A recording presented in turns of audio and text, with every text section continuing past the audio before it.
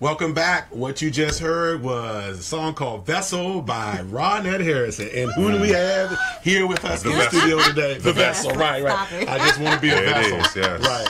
I- I'll, I'll end our broadcast with that. But, uh, uh, but thank you for being on the show. Thank you so much for having me. I it's a- appreciate the opportunity. You know, I had to make the show good before I had you on here to make sure know we just what? interview would go right. You know what I mean? You did good, Phillip. You're doing your thing. You're doing your thing. Praise God. It's not about me. it's not about me. Okay.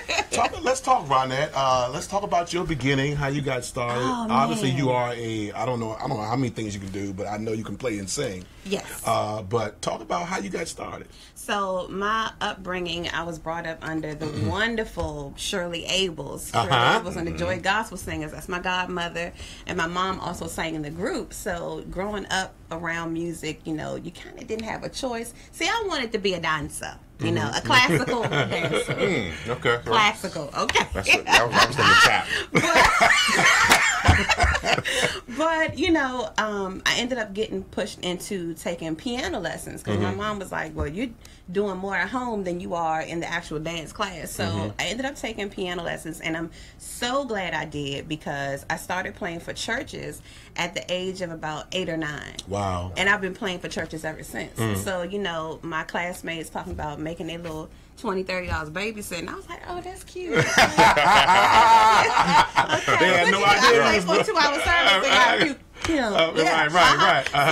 So, um, and at that age, that was unheard of. Mm-hmm. You know, a, a nine or ten year old teaching a senior choir, Mm-hmm. you know, how to sing a song. It's like what? But um, I'm so grateful to her and her children who also had a hand in teaching me um, how to play piano, how to sing, and more importantly, how to teach. Because everybody Mm-hmm. doesn't know how to teach it. You know, you, you get what I'm saying. Everybody don't know how to teach. Right. So that's how I grew up in music, and then going to Suitland High School for the performing arts, um, and then off to Towson University. Mm-hmm. Um, I was classically trained, and yes, I do have my degree. Who was your uh, You went to? Towson. Yes. My wife went to Towson. That's something. Whoop, whoop, Who was your instructor? Piano instructor at Towson. At Towson, oh my goodness, Mr. Reyes is his name. Okay. He was so sweet. He would always fall asleep in the lesson.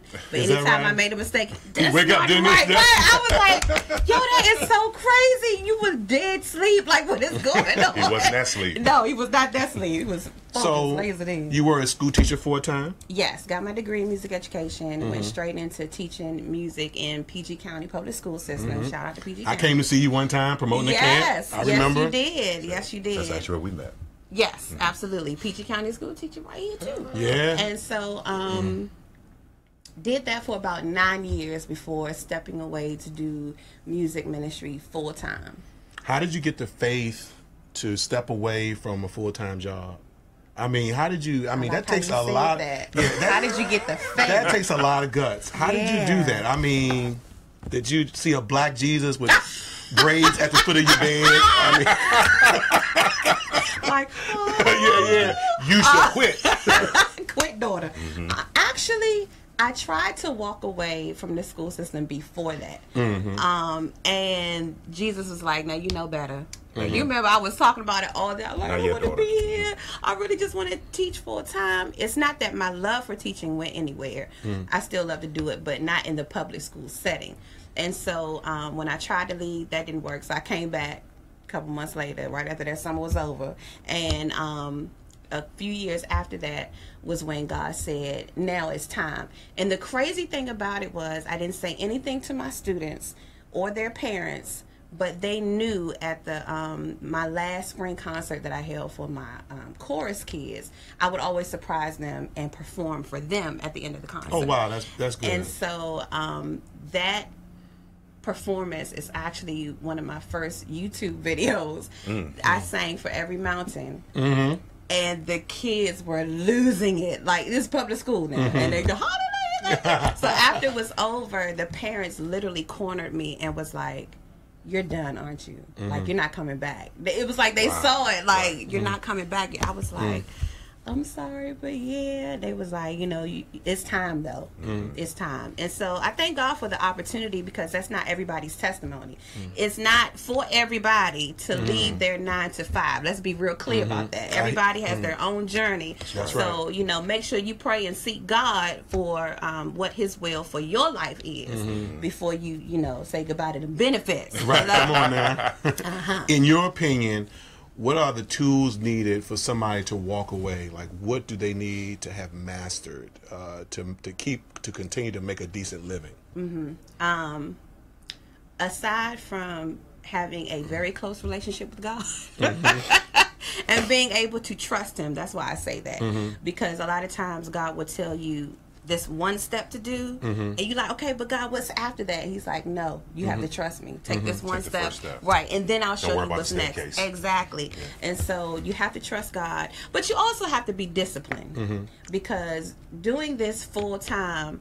Um, you honestly don't know where your next check is coming from. Right. So you have to take control of your business because that's what it is. Mm-hmm. You have to make sure that you have good relationships with people. You're good at networking. You call people back when you get hired to do a gig. You learn the music, Mm-hmm. okay, as is, and then be open to change or whatever. Mm-hmm. And um, you have to be disciplined. I can't say that enough. You really do have to be disciplined because um, you know we get booked through people Mm-hmm. talking through mm. word of mouth. Mm-hmm. That's how you know we get out and do what we do.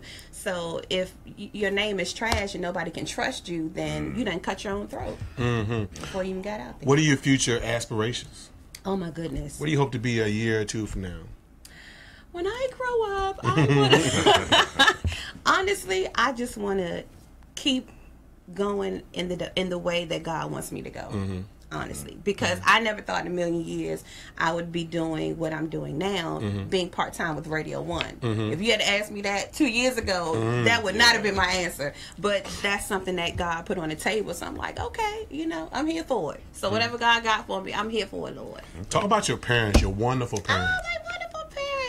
The right reverend and the good deaconess. Uh-huh, Shout out to them because the good deaconess is watching on Facebook Mm-hmm, Live right now. So thank you, mommy. She's te- techni- technological advanced. yes, yes. Come on, is. Miss Jeanette. Come on now. And she works out with you too. Yes, she does. I see Yes, her, you know, does. pushing up a few Uh-huh, things. I was like, go uh-huh. ahead now. Absolutely. Don't play with her. Don't play with her. Her fitness. So, okay? so let's have a diva moment. Oh, Okay, How about these shoes? that's exactly where I was going. You know, Your shoes. we apologize. I need a shoe We, we, cam. yeah, we need a shoe cam because Oh, Ronnie has us some shoes, and maybe some somehow I took a picture of them and air them on the show a little later. we gonna make You know, we'll kind of like mash that thing in.